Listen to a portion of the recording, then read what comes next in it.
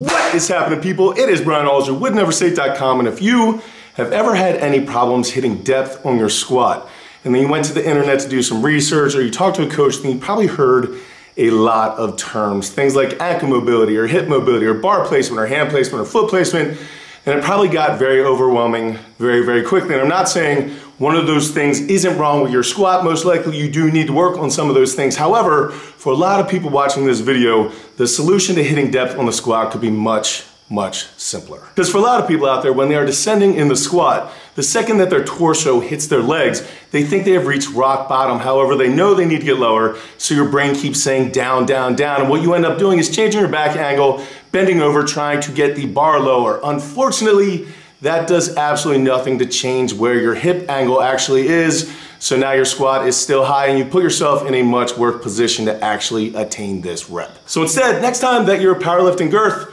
runs into your quads, instead of thinking you're in the bottom, just simply push your knees out a couple of inches. And magically, you will have gained some depth without compromising your back angle or your brace. Now, I'm absolutely not saying that now you are at parallel or that you hit depth because there very well could be something else wrong with your squat. And if you think that is the case, then I have an entire squat help playlist here at my YouTube channel to help guide you guys through absolutely everything from point A all the way through point Z, programming, assistance, extra help, everything that you could possibly want is in that playlist. So if you do want some extra instruction or just a little bit more information, then make sure you make that your next stop. But please, before you decide to go down that rabbit hole of the litany of things that could potentially be wrong with your squat, Next time you think you are in the bottom, that you have hit rock bottom, just simply push your knees out and watch the magic of depth.